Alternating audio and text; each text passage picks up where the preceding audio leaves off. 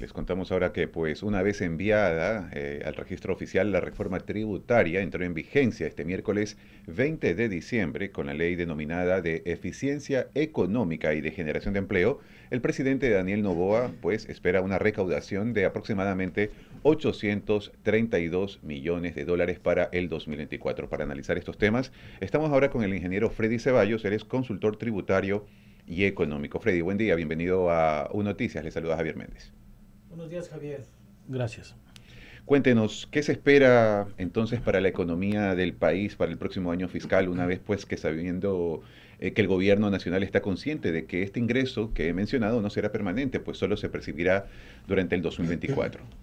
Bueno, Javier, eh, la primera reflexión respecto a, a este, esta reforma tributaria es que esos 850, 900 millones de dólares que espera recibir el gobierno durante el año 2024, eh, básicamente lo que, lo que ha hecho es equilibrar un valor similar que va a dejar de recibir en este año producto de la disminución del ISD y producto de ya no recibir ninguna cuota eh, inherente al impuesto al patrimonio, que la última cuota fue recibida en el año 2023.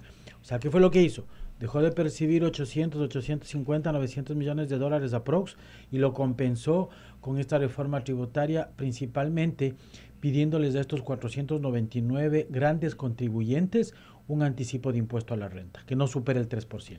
Ahora, Freddy, el grueso de estos ingresos eh, se entiende que va a provenir de una amnistía tributaria o lo que es lo mismo un perdón de intereses para contribuyentes morosos a cambio de que paguen el capital de sus obligaciones. Mm, ¿Eso es lo que más beneficia al país a día de hoy? ¿Lo que necesita el país? Ya. Aquí hay que dividir en dos, en dos partes. Los 800 millones que, que pretende percibir el gobierno eh, serán obtenidos de este anticipo de impuesto a la renta a los 499 clientes, perdón, a los 499 contribuyentes más grandes. Y el otro punto hace referencia a la amnistía tributaria, que son aproximadamente 965 millones de dólares. Ya, eh, quiero comenzar eh, reiterando el hecho de que este tipo de amnistías, que no es la primera, obviamente, con este gobierno, han habido varias durante los últimos seis, siete gobiernos, inclusive en algunos como el de Lenin Moreno, tuvo una gran acogida y una gran recuperación de cartera, cerca de 1.200 millones de dólares. Sin embargo, estos procedimientos desde el punto de vista tributario es anticultura. Anticultura, ¿por qué?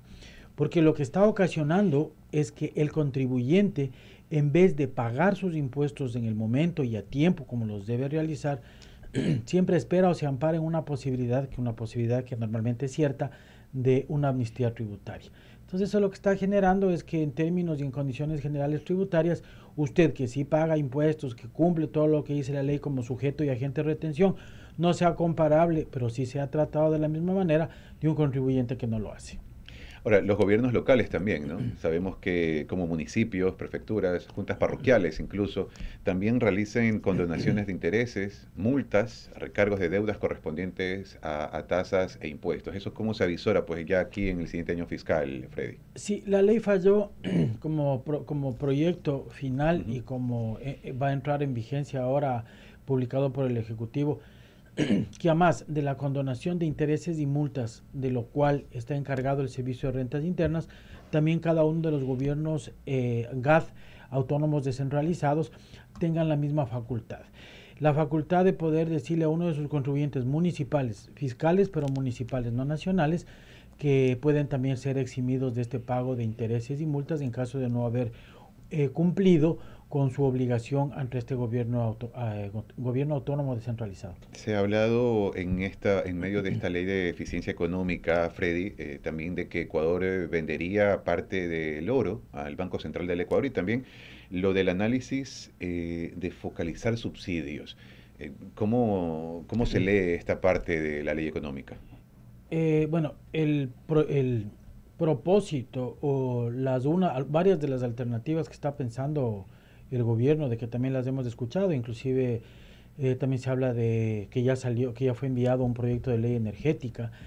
Y de acuerdo a lo que está mencionando el ministro de Finanzas, que lo escuché, me parece que el día lunes, eh, la focalización que originalmente no estaba considerada dentro de sus planes, hoy por hoy es una realidad, que la quieren instrumentar de forma prácticamente inmediata. Yo le quiero comentar algo respecto a esto, porque es una buena decisión desde mi punto de vista del gobierno, y es que cuando existe un movimiento de focalización en los subsidios, ya sea esto combustible, gas o electricidad, no es requerido una, una no, es requerido una anuencia o no es necesario eh, consensuar desde el Ejecutivo con la parte legislativa.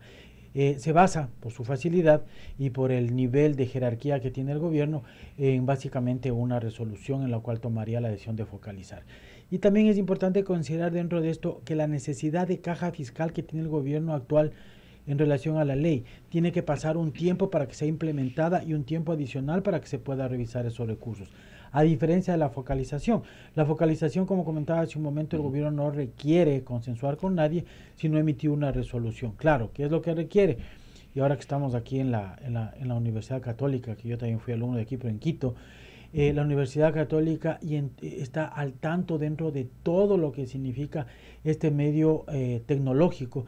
Entonces, utilizando estos medios, estas posibilidades tecnológicas, se puede focalizar de una buena manera y una forma y en un periodo muy corto hacia poder beneficiar y focalizar exactamente a quienes son los beneficiarios de este subsidio. ¿Y cómo hacerlo y cómo lograrlo entonces, Freddy? Lo decía el Ministerio de Economía y Finanzas, ¿no? El ministro Juan Carlos Vega, que se está analizando, que se está debatiendo a muchísimo detalle para no afectar a los más necesitados, pero sabemos cuál es el valor de la canasta básica, eh, cuál es el sueldo básico, no compensa, no hay un equilibrio entre ambos y luego focalizar subsidios. ¿Quiénes son esos más necesitados? yo le quiero, sin querer eh, decir que no es importante el cómo, yo quiero destacar algo que es muy importante y es que el gobierno en la práctica tome la decisión de realizar esta acción, que en la práctica tome la decisión de focalizar.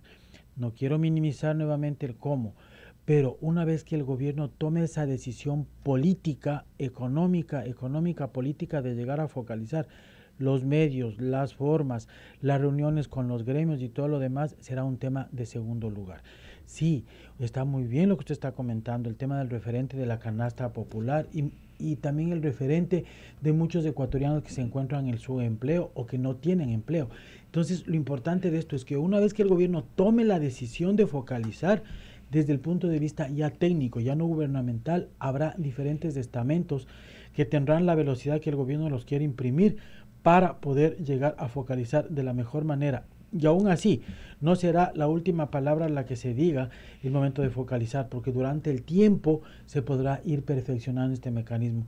No quiero minimizar el quién ni, ni cómo se lo va a hacer, pero para mi forma de ver, lo más importante es que exista ya esa definición política de realizar esta focalización. Y entiendo pues que ya desde enero del 2024, Freddy, pues empezará ya este debate y un poco tenerlo más claro, ¿no? El país de cómo se va a terminar desarrollando, si es la eliminación o la focalización de subsidios para los ecuatorianos. Ya, eh, muy pragmáticamente y desde una perspectiva muy ortodoxa, la eliminación de este subsidio o de otros, como por ejemplo de salud, de educación y hoy por hoy de seguridad, desde mi punto de vista, no es una opción. Y tomemos en cuenta algo, existe una diferencia sustancial entre lo que es focalización y lo que es eliminación. La eliminación significaría, además de un costo político que no es tema de la conversación, significaría un costo social muy alto para algunas capas de ecuatorianos que hoy por hoy ya se encuentran perjudicadas. ¿Perjudicadas en qué? En que no tienen trabajo, tienen su empleo, tienen un empleo no formal. Entonces, quitar un subsidio sería poner una carga mucho más alta en esta parte de la sociedad. Lo que se debe hacer es focalizar y quitar, sí, este subsidio para algunas áreas eh, de ecuatorianos que pueden sin problema mayor sustentar ciertos costos adicionales de combustibles, de gas, de, energía eléctrica.